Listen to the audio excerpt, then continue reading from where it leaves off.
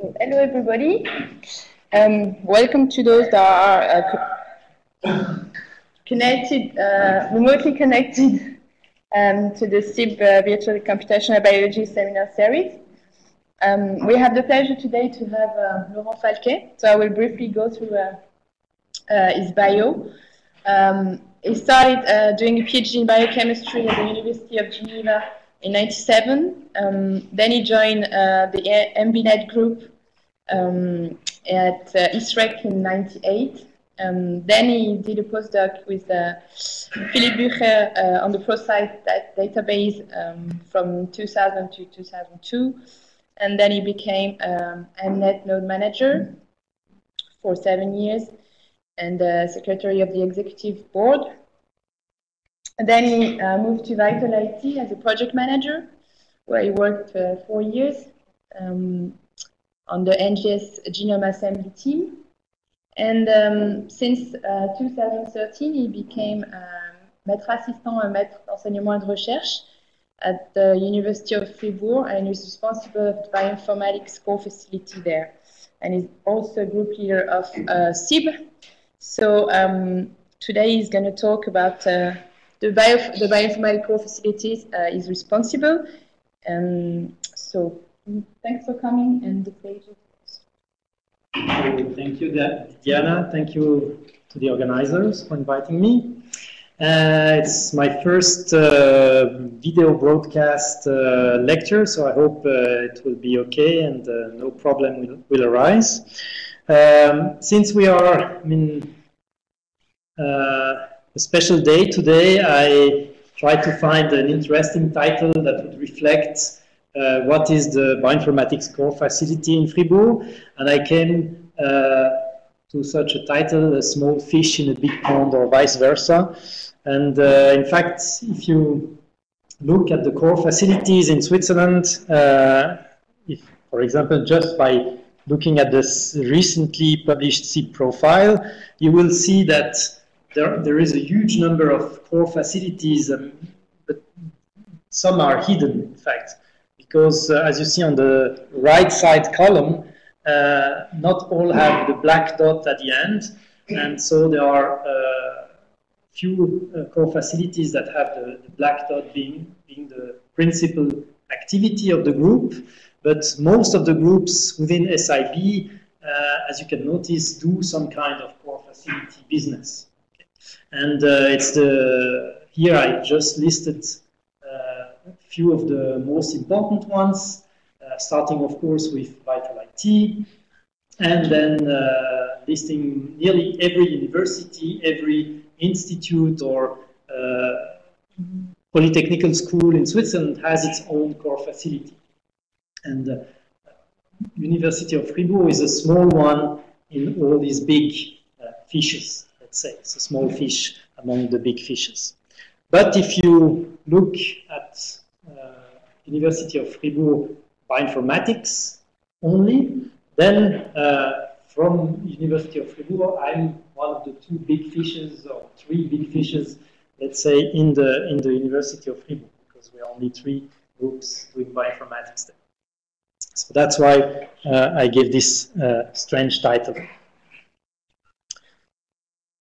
If we go a little bit deeper into my small fish, here you see that it's organized very simply. There is one head, myself, plus some scientific collaborators that are part-time collaborators and um, because unfortunately uh, the funding and also the, the, necessity within the University of Fribourg is not such that we can have several uh, fully paid people. So we have currently two stagiaires, let's say, two uh, persons that are working uh, with me on different projects. And we have past members of the, of the group uh, that are listed here, like Patrick Favre, Julien de la Fontaine, and Lysandra. What do we do uh, as a core facility? Very similar to other core facilities. Uh, we provide support for biomedical researchers at University of Fribourg, and thanks to, of course, Vital IT and uh, other resources, we are able to analyze the data that is produced, and most of the data uh, is next generation sequencing. Although it becomes, you can have different sorts of data.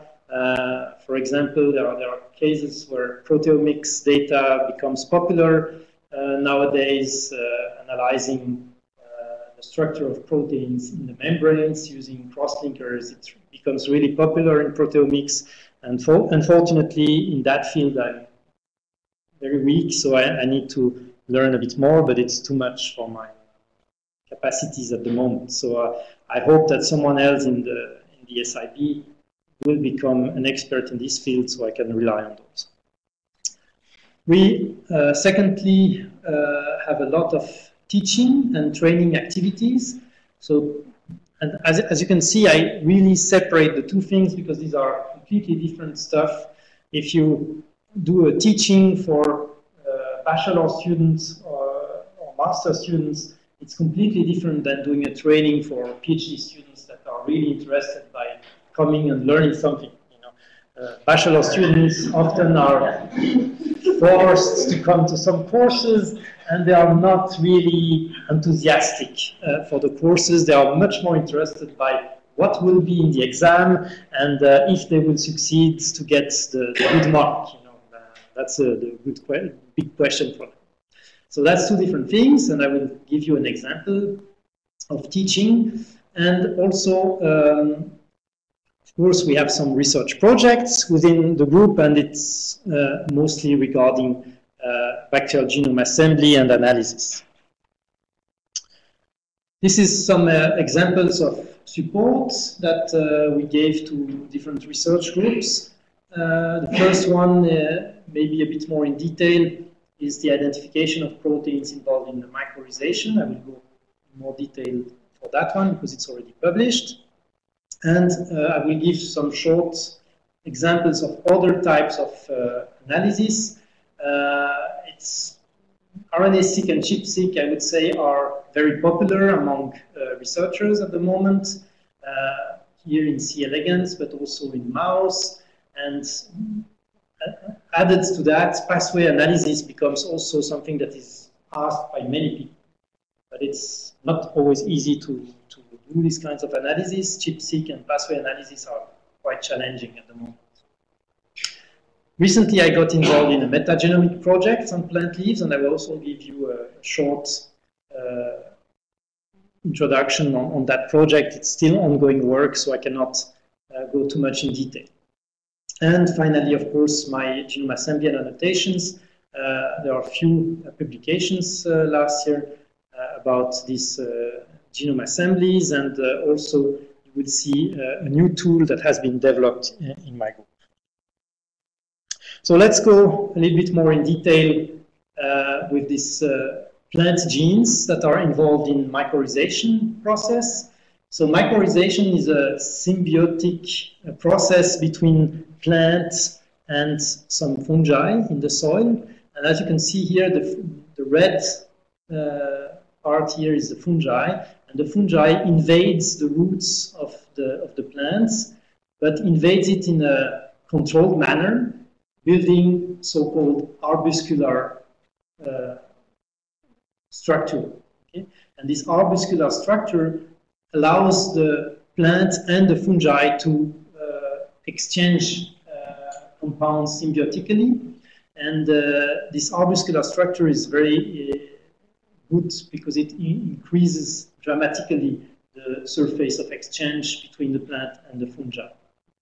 And this is an important uh, process because plants that do have these uh, arbuscular mycorrhizas uh, grow much faster and much uh, better than plants that do not form these uh, arbuscular structures. And it's interesting because it's found in some uh, dicotyledons and also some monocotyledons. But there are uh, branches within the plants that do not form mycorrhizas at all. And the idea of the project was to uh, mine the database, the public databases, to see if it would be feasible to identify proteins that are typical of uh, this arbuscular mycorrhiza symbiosis. That, that could be the signature of this uh, symbiosis. And we designed a complicated pipeline where we uh, extracted uh, whole proteomes from uh, Ensembl plants, and uh, we, we chose a certain number of full genomes that are known to form arbuscular mycorrhizae, like like tomato, like potato, vitis, uh, the wine, uh, vineyards, and uh, other plants like soybean and Medicago truncatula, which is uh, one of the most uh, interesting in this case, the one that uh, the people were interested. And of course, we selected a few plants that are known for not forming mycorrhizas, and these are uh, Brassicaceae and uh, Arabidopsis thaliana, for example. So we have nine different proteomes, three are non-forming mycorrhizas, and six are forming mycorrhizas. And we use the so-called hieranoid method, which is a hierarchical uh, clustering method to cluster all proteins of these proteomes. And uh, why do we do this? It's kind of a ClustalW for clustering protein. If you like, you, have, you need to give uh, a pseudo tree to the to the program so that it can uh, cluster pairwise each of the of the, the genomes and group them together in the end. And forming those clusters, identifying clusters that uh, uh, corresponds uh, to, to, potential orthologs for, for, the, for the proteins. And you see that, uh, in fact, out of these clusters, we separated the clusters in three different tasks we call that task. So task 9, which contains one copy of each of the nine genome. Okay, one gene that is found, clusters containing nine proteins, one of each of the nine genomes. And so these are, the, we call them housekeeping genes. They are found in all of the, of the genomes. And we had two other tasks. Task 3, which is only the clusters that contains at least three uh, genomes um, of the mycorrhizas, but zero of the non-arbuscular uh, uh, mycorrhizas. So these are clusters where we know that these proteins are conserved in the plants that form mycorrhizas, and it, they are absent in the plants that do not form mycorrhizas. And same thing for task four, but here we take we asked for at least four of these uh, uh, four proteins among the, the six genomes. Why did we separate the four and the three? It's because uh, with three we get too many clusters to be analyzed for the gene expression analysis. So that's why we restricted a little bit more with task four. But then what we did is uh, try to see, using the cluster, we built uh, multiple sequence alignments of the proteins here for each cluster, and then we use PSI-BLAST to identify within the total uh, Ensembl plant proteins to see if we can find a certain score. And we, we separated the, the e-values of the housekeeping genes and the uh, e-values of the arbuscular mycorrhizal genes. Okay, we consider those ones are really uh, signatures for, for this, uh, or potential signatures for these genes. And then we, uh, by doing this comparison, we uh, hope to uh, extract the, the, the, genes that are really statistically significantly different from the two. Okay. On the task four, we had a look at gene expression from a huge number of experiments in the roots, uh, in induction of arbuscular mycorrhizas, and, uh, and in the, the, database, there is a huge number of experiments that are documented in this database. So it's really interesting to extract this information for the genes that we identified here being part of, of uh, a subset of this uh, interesting cluster here. And by looking at this uh, expression, gene expression in different tissue, in different conditions. We extracted uh, using uh, Venn diagrams to see what are the corresponding, the, the, the, overlapping genes in different processes. We extracted a certain number of genes that were then analyzed, for example, for uh, their upstream 2KB sequences to try to find uh, conserved uh, sequences in the promoter that could be this, the signature for a transcription factor, for example. So this has been done uh, all with data that, that was already in the database.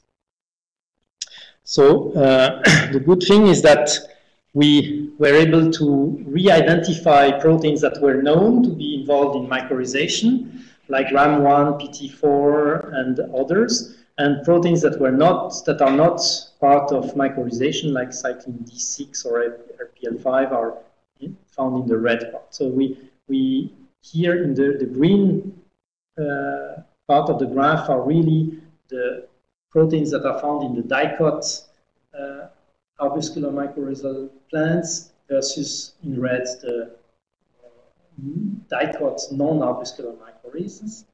And here we try to see if in the monocot uh, arbuscular mycorrhizal we could also distinguish from the dicot non-mycorrhizal uh, proteins. And it's a little bit more difficult to identify uh, since the two um, peaks overlap slightly uh, a bit more than here. So here we have series of proteins that are not known to be part of uh, of uh, arbuscular mycorrhizal, and it would be interesting to look at those. And so we continued with the, so with the I mentioned before this uh, expression analysis, and with the expression analysis we were able to identify a certain number of proteins in the different conditions uh, that that uh, are signatures of uh, arbuscular mycorrhizae, or at least could be signature of arbuscular mycorrhizae. They are currently testing this hypothesis. and from this list of proteins, we identified uh, signatures in the upstream part of the promoter, in the promoter region, and it looks really nice. When you look at these uh, signatures here, there are very good examples of uh, DNA sequences that are signature of known genes already, and we uh, identify these signatures again. So this, this was obtained in the lab and also confirmed by our analysis. That's uh, now another project, a recent project on metagenomics of plant leaves. So the idea here is that on Arab some Arabidopsis mutants that have uh, an increased cuticle permeability, so the cuticle is the surface of the plant leaves. And when this cuticle is modified, that is, it's more permeable, it becomes more resistant to a uh, botrytis, which is a fungi. So it's kind of counterintuitive. The cuticle is more permeable, but it's, the plant becomes resistant to the fungi. So the question is, is there a, a, any difference in the bacterial community that lives on the, on the plants on the wild type leaves or on the mutant leaves. So it means, said uh, in a different manner, does the fact that the cuticle is more permeable will modify the community of proteins that lives on the, on the, on the plant? Okay? And so what we did is we washed the plant leaves and we uh, extracted uh, the bacterial community uh, by analyzing the 16S RNA. And it's done by amplifying with specific primers uh, hypervariable regions of this uh, 16S RNA using MiSeq sequencing, 2 times 300 base pair, and if the two primers are well designed, the 300 base pair will slightly overlap, which will give you uh, nice uh, sequences. We obtained sequences around 420 base pairs of good quality. And we could use that using the mothur package to extract uh, interesting information about the community. So the, the, the, design of the experiment is the following. We had three plant replicates of each of the wild type and, and two mutants, LAX and BDG. And of each of the three replicates, we had five leaves for each uh, wild type and mutant. So it means 15 samples per uh, mutant or per uh, wild type plant. We also had a control sample from the soil to see if there is a difference in the soil, uh, in the community of bacteria you find in the soil. Yes? Are those five is the first five is that Arabidopsis complex or there are families I have no clue. I don't know what if these are the five first or if it's uh, already the grown plants. Uh, I don't know how many. It's probably very short uh, because uh, the time frame of the experiment is quite short. So I, I don't believe it's really old plants. So it's probably the first plant first leaves, but I need to check. so this is a, oh, sorry, we don't see very well. Uh, the green is really bad here. Okay, so this is the principal component analysis of all these samples after attributing the organ, uh, organizational taxonomic units to the, to the sequences. So we identified what are the bacteria that are and counted how many of each we found. And using these counts, we uh, did a PCA analysis. And you can see that in green here, unfortunately, you don't see the, the, the there was a circle here around the green. Um, and uh, the, the, the, the, green is the wild type plant. Okay? And you have the red and the blue which are the two mutants. And you can see the circles of the red and the blue, they overlap completely, so it's impossible to distinguish the, the red and the blue mutants. But the wild type green separates more or less relatively well from the mutants. Uh, still, there are a few, few samples that overlap with the mutants, but most of the, the wild type samples are separate, uh, separated. Also interesting are the three soil samples that are in the center of the graph, and you see that uh, these three soil samples, I should show that with the little here, three soil samples here. These three soil samples are overlapping with the wild type. So there, there seems to be a, a difference between the wild types and the, and the mutants, but the wild type and the soil are very similar. If we look now at the distribution of the different uh, genera of the, of the, the bacteria here, and uh, we see that uh, on this uh, heat map, uh, you can hierarchically separate the mutants in blue and red here easily from the green one and the soil. Okay, the soil are very different from, from the rest, especially in the diversity. The soil is much more diverse in different types of bacteria you find compared to what you find on the plant leaf surface. But still, the wild type is quite different from the two mutants. The two mutants themselves are not distinguishable like uh, with the PCA analysis. Uh, the only thing you see here, uh, in addition to, to, to, that, is that the, the first replicate, replicate, the plant A in both mutants is very different from, well, very different, slightly different from plants B and C. Okay? They, they still all cluster together, but you can see that there is a, a, branch here. So the first replicate was not treated the same. And so that's, uh, I discussed with the lab people and they told me, yes, it's true plant A was not treated the same, but I don't know what they did. Okay, so we see a slight difference, but still the, the two mutants cluster well together, and uh, we can see that the diversity is pretty different from what you see in the soil or in the wild type. We, of course, try to isolate the bacteria that are on the, on the leaves of the mutants, and we isolated two interesting bacteria that were sequenced here in Lausanne on the PacBio machine. And we got uh, very recently, uh, last week, by the way, uh, two full uh, genomes completely assembled after one smart cell sequencing. So it's pretty nice. Thank you, PacBio, for that. And so uh, no need to struggle to finish the assembly. It's already finished. Okay, so now we are working on these bacteria, try to see what they contain, what are the differences, and uh, try to identify the, the species because it, in Pseudomonas it's not so easy to identify the species. It's a complex uh, genera. This is another example, very uh, also interesting example. So it's a ChIP-seq and RNA-seq analysis. Yes, sure. Uh, they only studied the bacteria on the top. They did also measure the or I don't know Jean-Pierre is a Yes, of course. They, they did a lot of analysis beforehand, but uh, they wanted, in addition to this analysis, add something about the bacterial community. Yeah, and they were able to show some differences between the mutant and wild type in terms of.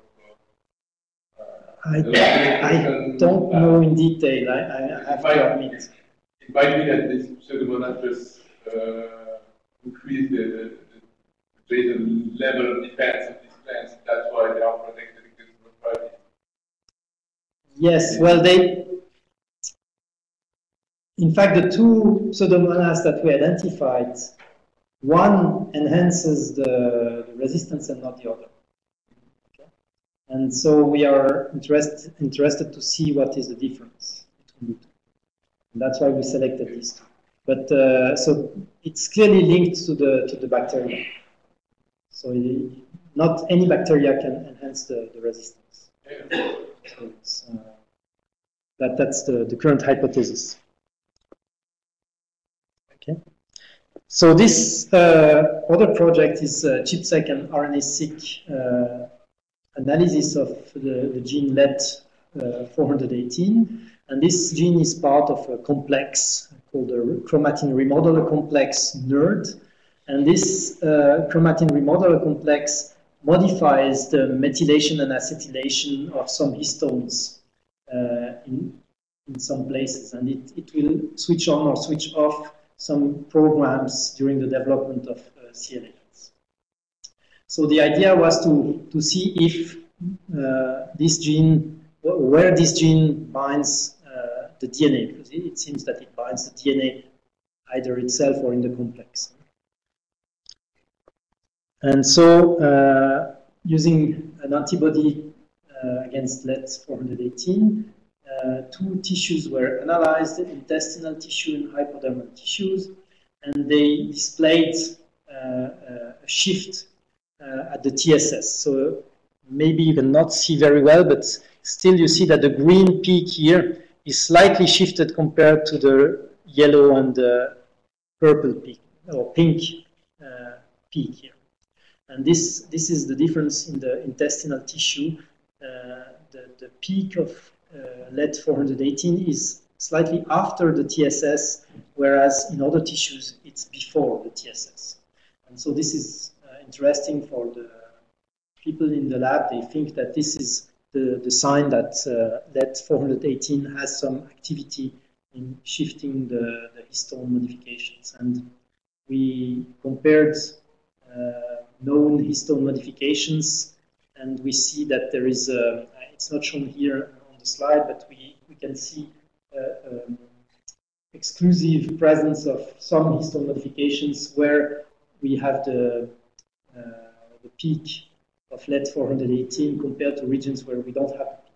So it seems that uh, it's mutually exclusive some, uh, met some methylated histones compared to uh, LET418.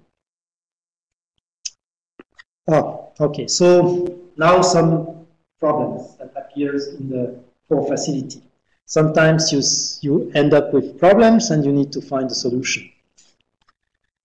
This is a, another C. elegans story. Uh, it's a RNA-seq analysis, and we try to identify uh, differentially expressed exons using DEXSeq package. And using this package in a MOC2 knockout, we saw that the, the MOC2 gene, in fact, is expressed in the knockout. Okay, so you see that one exon is was was destroyed in the knockout compared to the wild type in blue here, but the other exon is expressed. So what happens? In fact, if you map the read onto the, the region, comparing the, the knockout here at the top and the wild type at the bottom, you see that the knockout region, so the region that is removed from the, the genome, contains the first exon of uh, MOG2. So clearly it explains why the first exon is absent in, in this analysis here. But the second exon should be absent too. Since you remove this part here, this exon should not be uh, transcribed. But in reality it is because it forms a transfusion splicing variant with the preceding gene here. So by removing the DNA in this region here, we force this gene to transplice with this exon here, the, the second exon. The knockout has a phenotype. Yes, the knockout has a phenotype. So, so the transplice uh, transcript is not functional. It's probably not, it's probably not functional. trans. Yes, but is it completely not functional? We don't know. So that's an example of cases where you look at something that should be absent, and uh, well, it's still expressed at a high level, and so we we discovered this uh, trans transfusion of uh, the of the two genes here. Another uh, troubleshooting case here is a recent one from a ChIP-seq experiment in mouse for the gene RBPJ. Okay, it's a transcription factor, or not, not a transcription factor, a tra- transcription modifier, something like that. It's not really a transcription factor.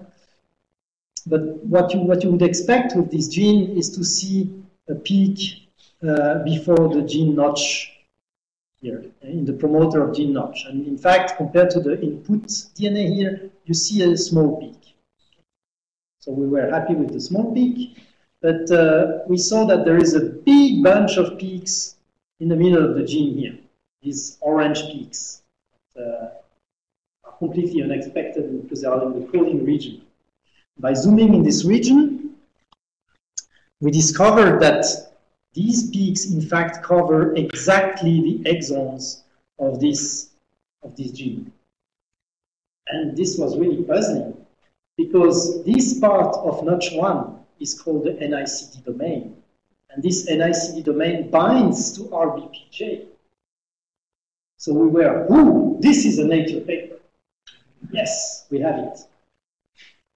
But in fact, after discussing and analyzing a bit more, well, could be a plasmid contamination.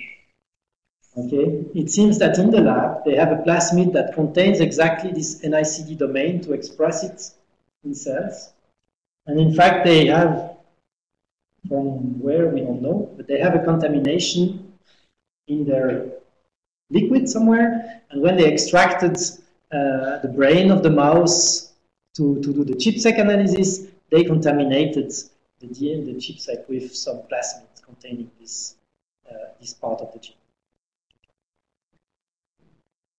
So this is a bad luck experiment or faulty experiment, let's say, but it, I mean, troubleshooting these kind of things is quite difficult if you don't know exactly what could happen. Okay, let's uh, speak about teaching and uh, training. Uh, this is part also of my, my duty in the, in the core facility, organize workshops. And so we organized in 2014 four workshops, and uh, two of them were organized thanks to Vital IT for the high performance computing workshop, and uh, thanks to the BCF uh, facility uh, of Mauro, um, microRNA RNA-seq uh, workshop. The two others were organized uh, by myself and Professor Daniel Beck. We also organized the StarMix course in June last year uh, on genome and transcriptome assembly. This was also a collaboration with other SIB groups because there were people from Bern, Basel uh, giving, giving this course, even from, from Lausanne. So it was really an interesting uh, course here. We had uh, a B-Free Genomics Day, uh, a bit less successful because of a bad choice of dates. That's my fault. I choose a date that is just between a holiday, a first day holiday and the weekend. And of course, many people did the bridge. So unfortunately, this was a bad choice. Um, and then we also organized a course, Sequence a Genome, that is somehow a little bit uh, modeled on the course that is given here in the master uh, in genomics here. And uh, instead of sequencing a whole new genome, a whole new bacterial genome, we sequenced yeast mutants, and I will detail that in a moment. In 2015, we already had a course in February on DNA methylation and methanol analysis, again with people from Lausanne, Philippe Bucher, and also from Basel, Michael Stadler and Christoph Schmidt, that came to, uh, to give this course in Fribourg. It was very successful we are planning a Pathway Studio workshop to uh, help people in Fribourg that are struggling to identify pathways and to analyze their data. And uh, since we have now a license for this year in Fribourg for this Pathway Studio, we want to uh, have more people using it. And we have already HPC course uh, workshops planned for uh, the end of the year. In 2016, we will organize the Be-Free Genomics Day again because it's now in, in 2015, it will happen in Bern uh, on the 5th of June. So if you plan to listen to a good workshop, you can go to Bern. On the 5th of June, there will be the Be-Free Genomics Day, and we will organize it every second year in Bern and once in Fribourg. So let's go a bit more in detail uh, with this teaching activity here. So the idea here is collaboration with Professor Kressler uh, is to look for suppressor mutation of uh, a gene and the mutant of gene NSA1 that is involved in 60S ribosome biogenesis. And so he isolated in his lab 44 candidate clones. Well, he has 200 of those, but he selected 44 of these clones that we sequenced using uh, HiSeq Illumina, pair dense 200, uh, 2 times 100 base pair. And five students worked in analyzing each of, of uh, the students will analyze nine candidates. Okay? So that's quite a lot of work because you have nine different uh, samples to analyze, to map on the reference genome, to identify the, the mutation SNP and small indels, and then to annotate these uh, SNPs with uh, SNP effector. Then what we do, what we did is, of course, to remove, to filter out all the common mutations among the clones, because these are mutations that are, of course, not found in the reference genome. We don't have the reference genome of the original clone that was used for this mutant here. So we had to subtract the normal mutations you find between the reference genome and the, our genomes. And then we uh, kept only the homozygote mutants because these are yeast strains, of And uh, the remaining mutants were analyzed manually, uh, looking at IGV and also extracting information on the genes that were touched by UniProt, SwissProt. And in SwissProt, by the way, we were very happy because we found one gene called ASC1 yeast that is a guanine nucleotide binding protein subunit, beta-like protein. Okay, and from SwissProt we notice that it's located in the 46, uh, uh, 40S, so 40S ribosomal subunit. So this was a, good candidate, and so we had a look at this um, at this gene, but we were very disappointed because all the mutations are in fact not in the coding region, but in an intron between the two exons of the gene. See, these are the mutations here in, in the light blue. And so, well, what could be inside this intron? In fact, it's a SNO RNA. So there is a SNO RNA exactly encoded in this intron, and all the mutations affect this SNO RNA. You can see they are in red here. See all the mutations here, and uh, some, some even are deletions, like here. And uh, so we found five mutants with the deletion, and some mutants with uh, punctual SNP mutations here. And you see that they affect regions important for the SNO RNA, the C box and the D box, and this, and also the D box here. And this is a CD uh, box SNO-RNA. And it, this CD box SNO-RNA is very important because it helps the maturation of the 25S ribosomal RNA, a component of the 60S uh, particle. Okay, and this is the complex that modifies the 25S ribosomal RNA with the SNO RNA you see here, and other proteins, NOP1, NOP58, NOP56, and SNU13. And incidentally, we also found mutants in these four proteins. So we are quite happy because we found mutations in proteins and also in the SNO RNA uh, involved in the maturation of the 25S ribosomal RNA.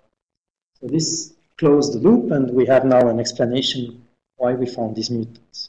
So when you look for mutants, it's always good not to look only at the coding region of the protein, but sometimes at the non-coding part of the protein.